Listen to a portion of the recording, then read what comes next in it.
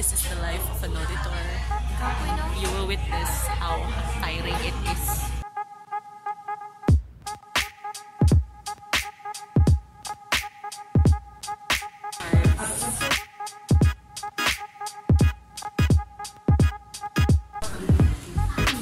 Camera for the film. Sige, kung paano. vlog, Abraham.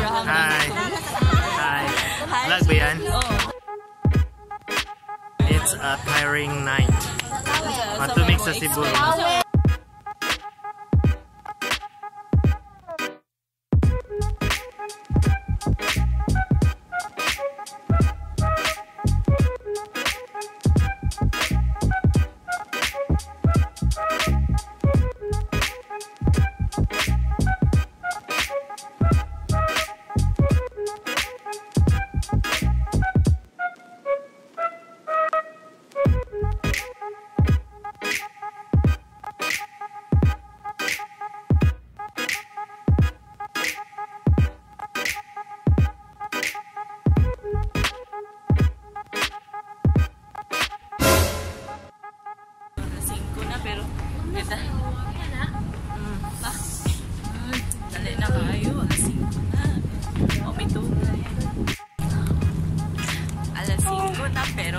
Namin sa barko bisag wa kami na upamito upamito to wala ko ba sa mga ibang story o ba na karon si Emily si Jenny tagiya sa phone.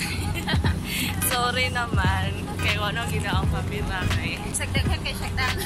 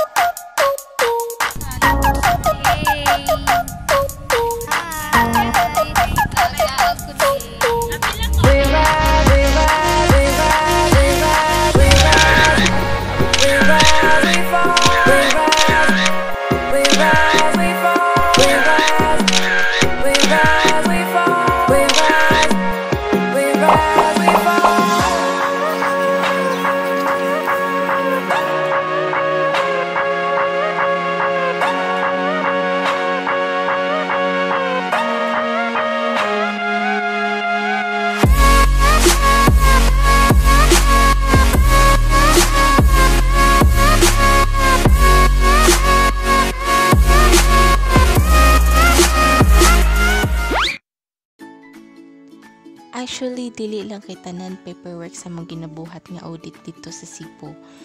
Usually, ang ginabuhat yun namo dito is mang chismis. Joke. Charot. Ang ginabuhat yun namo ato kay inventory. Two days mi nag-inventory sa warehouse sa isa ka company or sa among company rather. Dili ako ang company. Sa among kantam company nga gitrabahuan. So, muna example sa video kung gaon sa jud may. So ako ra nang kinawat sa Google mo na example ni Jaday og gaon sa dat today.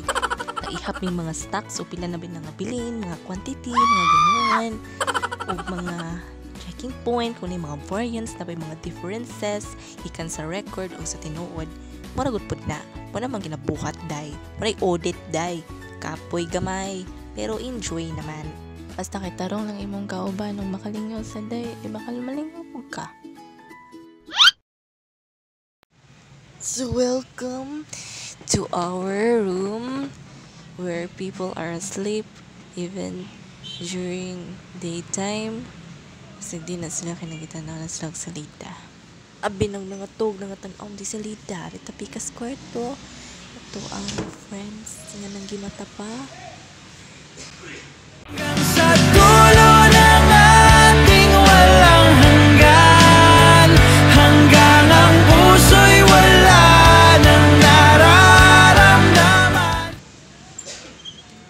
Ang ganap dito ay nagtugpo sila kay gadog ka mga tao din.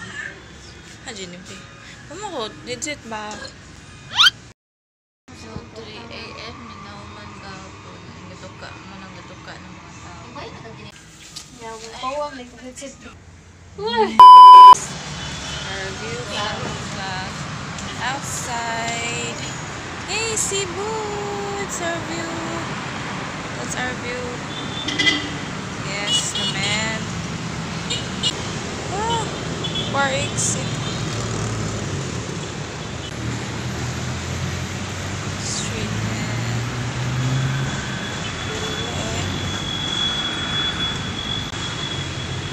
So, ipakita na ako karon ng amo ang kwarto. So, our room is number 15, my favorite number. No smoking please. Huwag ka magalala, hindi kami nagsismoke. So, that's my bed. Ang nasa itaas. Wala pa na hapin. Okay ra. Kay bisita naman po ko. So, mahawa naman po ko niya. So, okay ra. So, this is the hallway. Pamurong dyan na. Diyos kinalasan. Sige, magagdagan san. Why? So here's the boys' room. Hi. Going back to the city. Kanin? We're going back. Ay, video? Sorry, I thought it was picture. It's the time to say goodbye to our dearest kwarto. Uh, Thank you for accommodating us. Hindi ko talaga makakalimutan lahat ng mga memories na bigay mo sa amin. Ano ba yung kinakausap yung kwarto?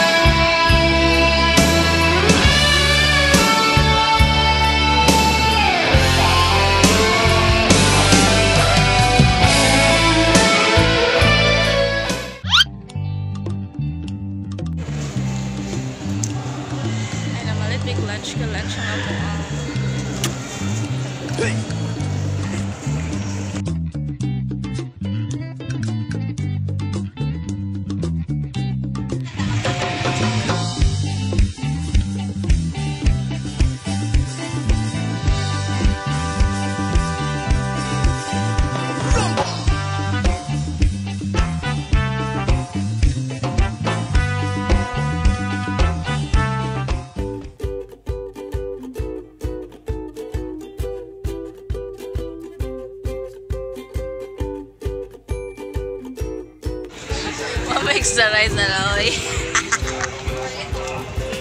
Kwangan pa.